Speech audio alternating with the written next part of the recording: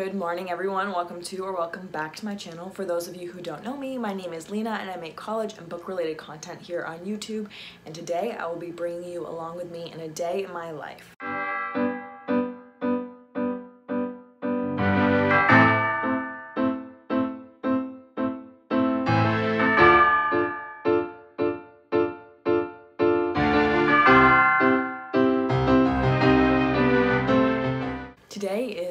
July 5th. It is the beginning of finals week. However, because I'm in a summer condensed semester, it's simultaneously the last week of classes and finals week all at the same time, so it's kind of a lot. So that being said, I have four finals this week. I have one that opens up today and is actually due tomorrow. We have 24 hours to complete it. Then I have two presentations and a paper due on Thursday at various points throughout the day. And then I have two more papers due on Friday. So even though I only have four finals, it seems like I have a million of finals to do, but some of them are connected to each other. This morning I got up, had a shower, and then started working on some of my um, on one of my essays for the end of this week. That essay is also tied to one of the presentations I'm giving on Thursday, so I'm working on both of those kind of at the same time. It's now 9.25 and I have a class that I have to leave for in about 15 minutes or so um, and so that is my Paris on film class. It is a lovely day today, so hopefully I'll have some time to go outside, but I also have a couple meetings to go to this afternoon, so we'll just see what happens. Since filming my room tour, my room has fallen even more apart. Um, my corkboard fell down because of the humidity last week. So I actually saw it as it began to fall and I was able to catch it in time. So that has been officially taken down and I just didn't see a point in wasting command strips and putting it back up. And then also my L fell down as well. So it's just the humidity is not being nice to things that go on the wall, but room tour is done, so we don't have to worry about that anymore. This is my outfit for today. It's just this like minty teal kind of um, v-neck shirt with um, a cactus on it and then some shorts these socks will come off. I think I'm gonna wear Birkenstocks today. It's just a little chilly in my room and I'm trying to wear my hair down today. We'll see how that goes. It's going to get up to 80, but we'll see how that goes. Before I get going, I'm going to do some quick planning for the rest of my day and then I'll be able to head out to class and this day will officially begin for me. So my planner actually ran out on July 4th.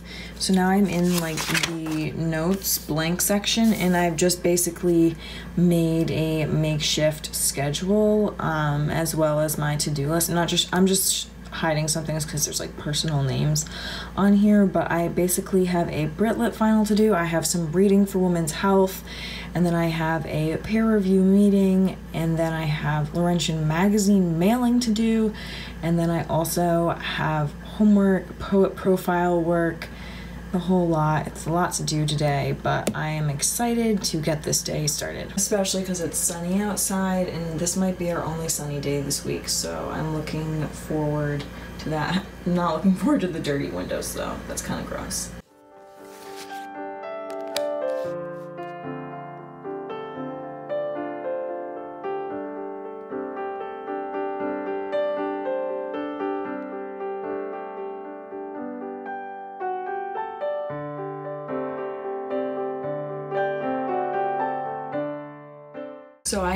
Now back from lunch and it is a little after 12 and our final for Brit Lit was just sent to us so I just copied and pasted uh, it, into a Word doc for myself. It is an open note final exam and we have 24 hours to complete it on our own time and it is about the Victorian era and the modernist era for writing in Brit Lit. We can use um, our Norton anthologies. So I have them over here. I have our Victorian one and uh, the 20th and 21st century, which contains the modernist, obviously. And then I also made myself a cup of tea to prep and I'm just gonna go through, take some notes, do all of that. We aren't allowed to use online resources, but we can use also notes from class.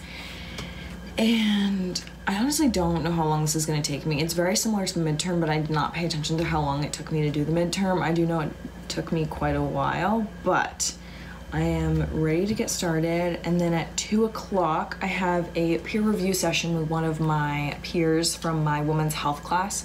So I'm going to head over to the student center to do that. But for now, I will get to work.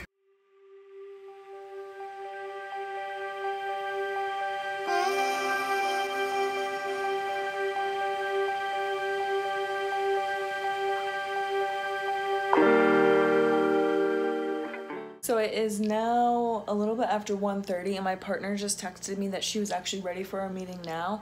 So I'm going to pack up my bag, get all that stuff ready. We'll go do peer review, see where we're gonna go from there. Um, yeah, so much work to do. This week is looking so, so hectic, but I am looking forward to the semester being over.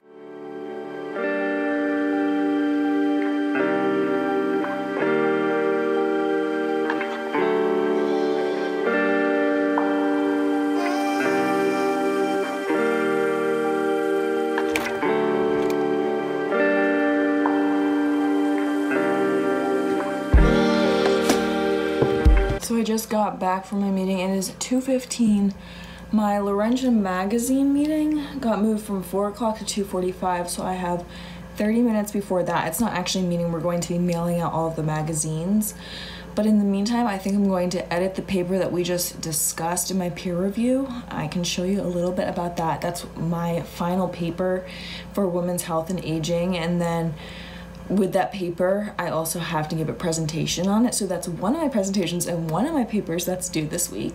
So this is basically the paper that I wrote about, way to write about women's health issue that was not discussed in class. So I decided to write about vaginal hygiene products. We had to write a white paper arguing a stance for um, a woman's health issue. And I decided to argue that vaginal hygiene products are hugely problematic. I wrote about um, what we need to do in order to change the number of women who continue to use these products.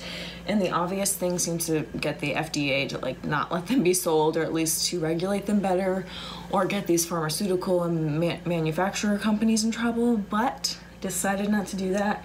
Decided to go the route of comprehensive sex education and learning what a healthy and normal and basically what a vagina is like. So these girls and young women are not taught that a vagina is dirty and disgusting and gross and want to use these products to begin with.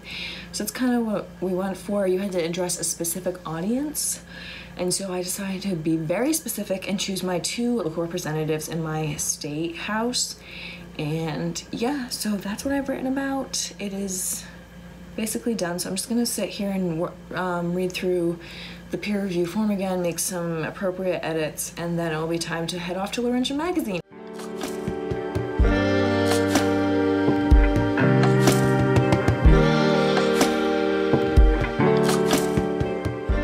Text canceling our Laurentian Mag mailing because of certain circumstances, but in the 30 minutes I did have um, I had time to read through my entire paper, make some edits. The highlighted things just mean I don't like the transitions, so I'm gonna have to go back to those later. But I was able to read the whole paper and make all those edits, and so I'm really happy with that. So I think I'm gonna show you the magazine anyway, just to give you a chance to see what our literary magazine looks like here on campus. It is a student-run magazine, and it's full of student works. And we typically release two editions each year, but we only did one because of COVID, obviously. And every semester we basically have people do submissions and then the editorial board which I was a part of in the fall and now I am the managing editor this summer, um, we go through and pick which submissions we want in four different categories fiction, nonfiction, art and photography, and poetry. And then we put together the whole magazine. The magazine is really beautiful this year, it's stunning. Um, and so I'll just let you all see a little sneak peek of that. So this is the magazine. We're just on top of my bed right now, but it is really beautiful. This is cover art by a student, and then the inside cover is a photograph by a student. Um, and this is our first year of doing color on the inside, and I think it turned out really, really, really well. Um, and so I just think it's really beautiful. um, and I like just the whole aesthetic that's going on and um, the pieces that were selected, the themes, the content. It's really, really cool, and I'm really glad that we got to share this all. But unfortunately, it appears we won't be able to mail it today. So that's that. Um, I'm gonna move on from that, give up on those dreams for today. I think right now I'm going to take 30 minute break. It's almost three o'clock. It's that time of the day when I like to take a little break from my schoolwork. So I think I'm going to read a bit and maybe just relax, chill. I am so tired. I woke up at 3 a.m. this morning. Love that for me and could not fall asleep until 4.30. Also love that for me and then got up at 6. So I'm exhausted right now, but I'm not going to take a nap because I do not want to mess up my sleep schedule. So I'm going to do that. Um, I might actually go outside and read just because it's so beautiful. Uh, might also get a sunburn if I do that, but I will let you know. The two books that I am currently reading are Fathers and Sons by Ivan Turgenev. This is a Russian literature book and it is quite old and beat up. Um, I am really enjoying that. I'm not very far, I'm like page 50 or so. Um, and then I'm still reading Indiana, which I am very far along in. Um, I think I have about 100 pages left and I'm enjoying that quite a bit. I'm not sure which one I'm going to read. Um, and I'll just have to decide that. And I think I might take an adventure outside because it's so beautiful. So we shall see.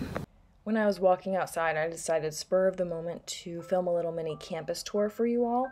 So this is between Rebert and Whitman, which are two freshman residence halls. There are volleyball nets. And then as we continue along, you can see Dean up on the hill across from Whitman, which is another residence hall.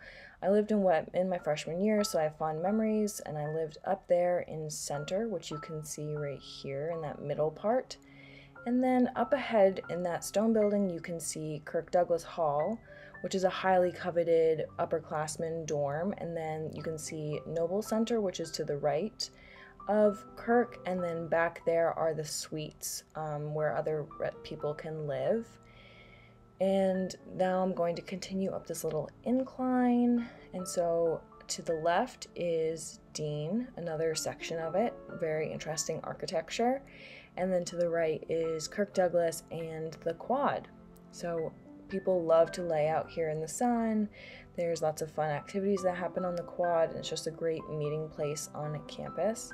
At the top of the incline, you can see Carnegie Hall, where I have most of my classes. There's a sculpture that looks like a broken egg. And then taking a right, you can see the Chapel and Richardson Hall.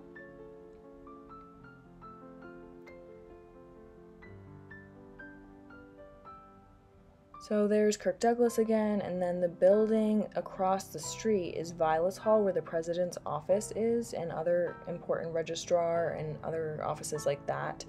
And then Richardson is actually the original university's building. All of the classes and residence halls used to be in there, and that's where my English classes are there. So I'm there all the time, and I love it. I think it's a beautiful building, and the classrooms are very enjoyable. So coming around here, walking between Richardson and the chapel, and straight ahead of us is a portion of our library on campus. I just climbed up the little steps that you could see earlier, and there's the chapel, and there's the library hiding behind those trees, as well as the reading room. I decided I wanted to sit under a bench in the shade because even though I put on sunscreen, I was not about to get a sunburn. So I just chose this random little bench in the middle of the enchanted forest. That's what it's called here. Is me doing work. Lots of fun. Another view of Richardson and the chapel. And then back there, you can see Hepburn Hall, barely. I zoom in on it. Um, we'll walk by there later. You can look at it then. And then there's the library still hiding behind the trees. And the reading room is obviously has not moved. And I love the reading room. It's absolutely beautiful. This is me doing some actual reading, Fathers and Sons, and absolutely loving it.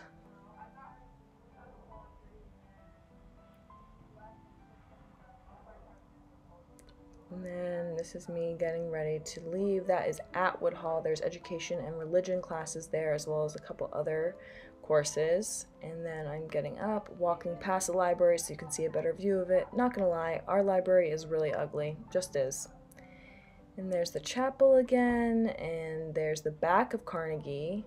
And yeah, here's Hepburn up close. It's pretty beautiful building. There's government classes in there, there's the lecture hall in there for like Bio 101.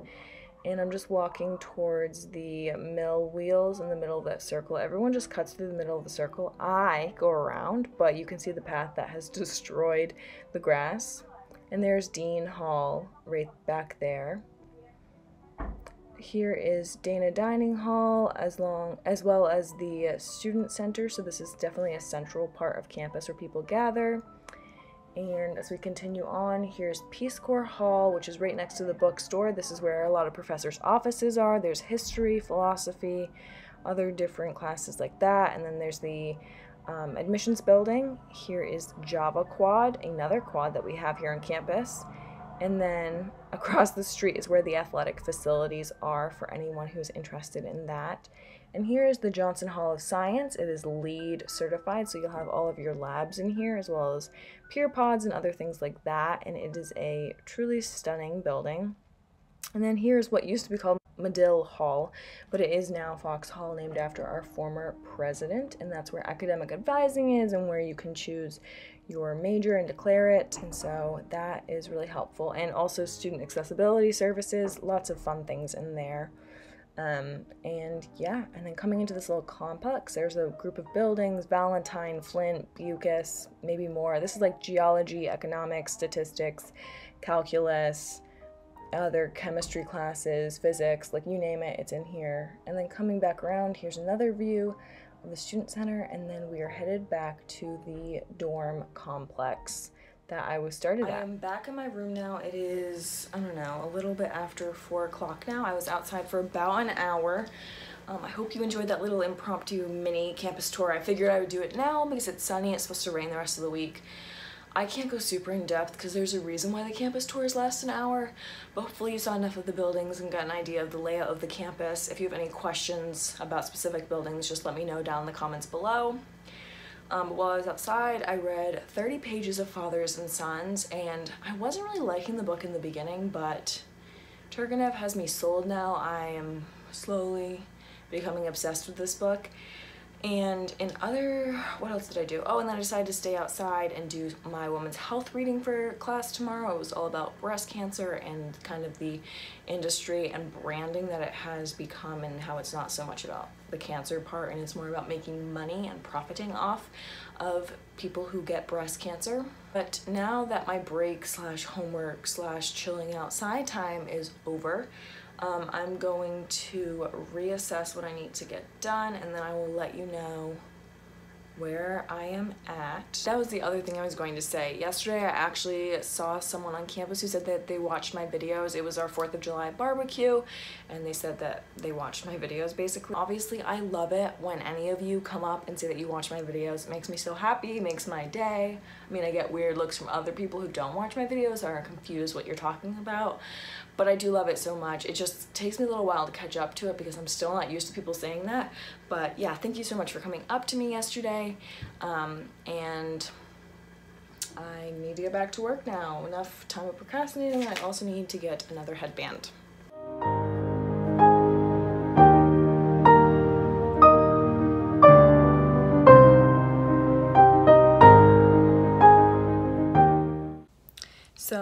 Just got off the phone with my family. I was on the phone with them for over an hour and it is now 5.45.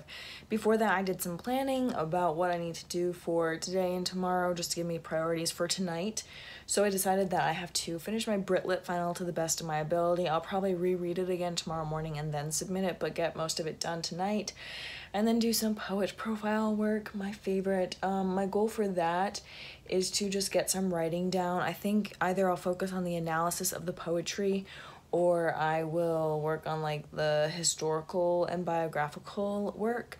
But for right now, it is 5.50, so I'm probably going to order supper in about half an hour or so. So I'm going to read Indiana um, and get some of that reading done so I can finish it by the end of this week.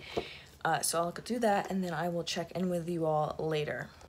So this is me just checking in the next day because I realized that I never actually closed off yesterday's vlog.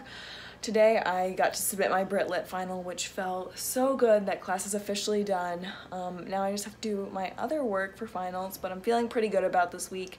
Thank you so much for watching today's video. If you have any questions, video recommendations, book recommendations, please leave them down in the comments below and I will see you all next week.